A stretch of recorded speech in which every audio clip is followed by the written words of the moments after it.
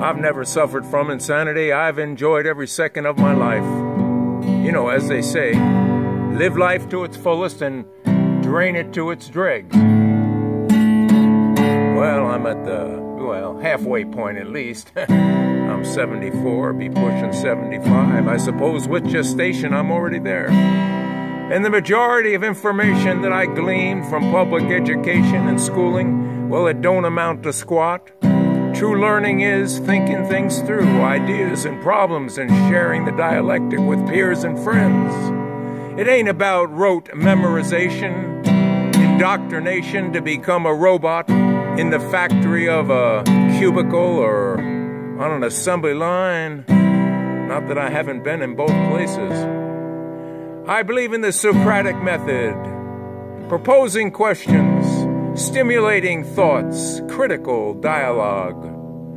We're not talking about true and false and fill in the blank and punch the whatever, you know, make a little circle and a dot so that it can be easily corrected.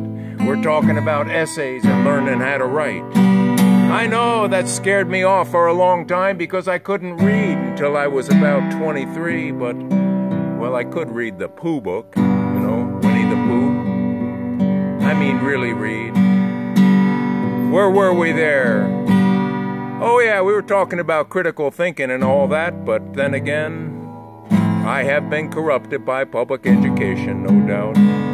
I have been indoctrinated. I have been injected, neglected, but not jabberooed.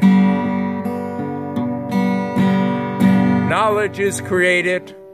And when you create knowledge, you create power.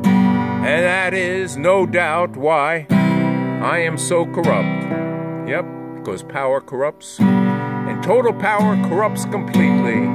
And knowledge gains power.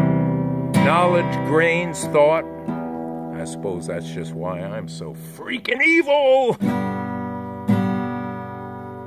box stores, they're always saying things like, we're lowering our prices every day. I'm wondering, you know, critically, eventually they're going to hit zero.